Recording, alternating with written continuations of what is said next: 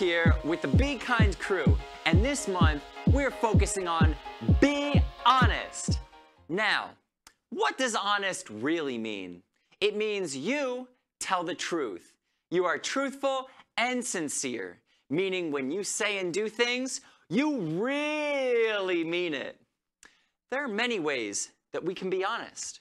The first thing you can do is always be honest with yourself. Yourself, yourself, yourself, yourself, yourself. When you go throughout the day, you have so many choices to make. Look at all of the different choices you are making and think to yourself, is this the kind thing to do?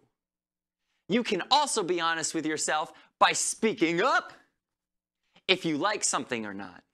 If your favorite song is, I like to move it, move it, I like to move it, move it, and the people around you don't like that song, it's still okay to like that song. It's okay to like different things and to agree or disagree.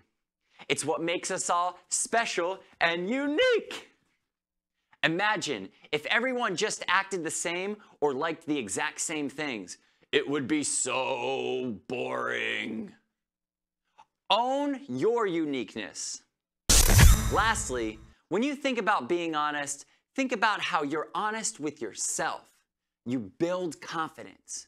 You stand up for the things you believe in and you own your individuality. When you are honest around others, you build trust. Trust builds strong friendships, and the people around you will respect you more and feel good knowing that they can always rely on you to do the right thing. There's a lot to cover when it comes to being honest, but no worries. I've got you. We'll talk about how we can be honest in the upcoming videos. See you soon. Peace.